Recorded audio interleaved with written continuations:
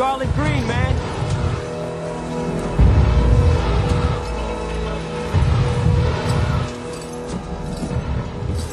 Arrested in a cartoon.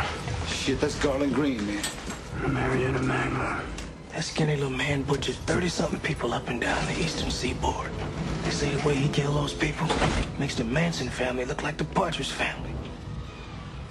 Well, he's on the right flight. What you want to do with him? I don't know, but this is no way to treat a national treasure. Let him out. You sure? Love your work.